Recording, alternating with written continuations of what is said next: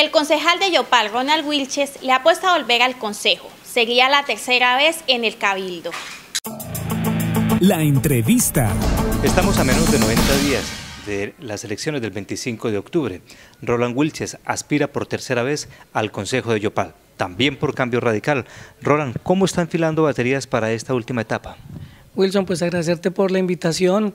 Como tú lo decías, es nuestro tercer periodo en el cual enfilamos baterías para poder representar a nuestros ciudadanos de nuestro municipio de Yopal en esa curul de Consejo Municipal, que hay que reconocer que Yopal es de una de las ciudades más importantes de Colombia. Hoy somos la segunda ciudad que más crece después de Barranquilla, una de las terceras ciudades en el cual más ha, ha, desarrollado mayor industria y desarrollo comercial en los últimos 10 años y pues es para mí un honor nuevamente postular nuestro nombre al Consejo Municipal de la ciudad de Yopal. ¿Qué ha hecho Roland destacable en estos dos periodos? Durante estos ocho años en el Consejo Municipal de Yopal, pues nos hemos caracterizado por tener, por tener decisiones férreas.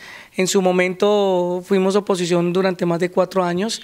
Eh, en este gobierno, aunque acompañamos eh, al alcalde Selemín, eh, también nos manifestamos eh, en algunos acontecimientos que pensamos en nuestro momento no eran, eh, no eran satisfactorios para la ciudad de Yopal y por lo menos sí he sentado mi posición y, y, como concejal de Yopal el de reconocer y lo que reconocen muchos ciudadanos es que por lo menos soy un concejal de carácter, un concejal que opina, un concejal que se argumenta, un concejal que debate bajo argumentos técnicos y no bajo sofismas de distracción como muchos han pretendido durante estos ocho años hacer política. Muy gentil. A Roland Wilches, candidato al Consejo de Yopal, número 17, por tercera vez, ¿no?